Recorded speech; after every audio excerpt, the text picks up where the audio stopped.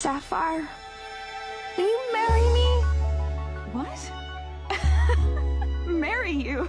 Yeah, this way we could be together even when we're apart.